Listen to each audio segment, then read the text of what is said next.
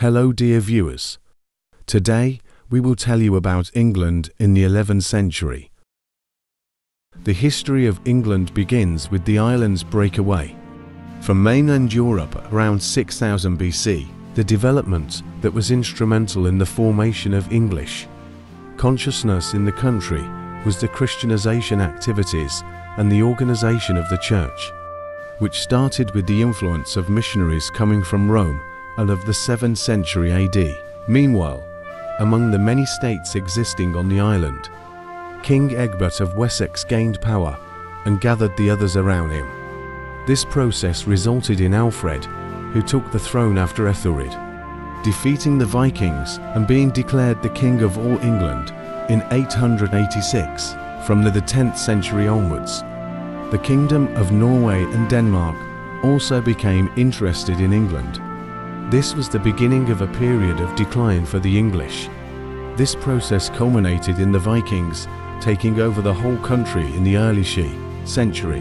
The invasion of the Normans, who had previously come and settled in Ireland, began. The Normans defeated King Harold of England in 1066 and dominated the country. The lands of England were divided among aristocrats of Norman origin and a period of feudalism began. In time, the English were completely removed from the administration. Latin became the administrative language.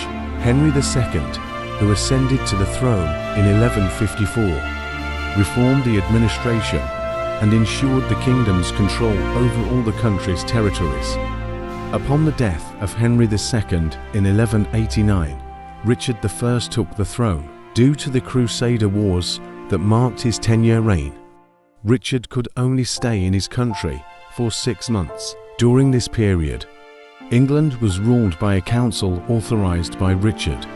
After Richard's death, while fighting in France, he was succeeded by his son John. When King John had a dispute with the Pope over the appointment of the Archbishop of Canterbury, Pope Innocentius III excommunicated John. However, after a while, when there was an uprising against him in the country. John asked for support by declaring that he accepted the wishes of the Pope in order to protect his throne. In the meantime, some lords and bishops who took action against John prepared a document guaranteeing their feudal rights and pressurized John. As a matter of fact, the king had to sign this document, which went down in history as Magna Carta on the 15th of June 1215.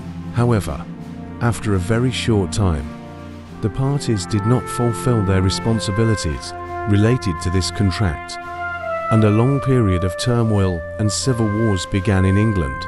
We will conclude England in the 11th century in our next video. Thank you for watching us.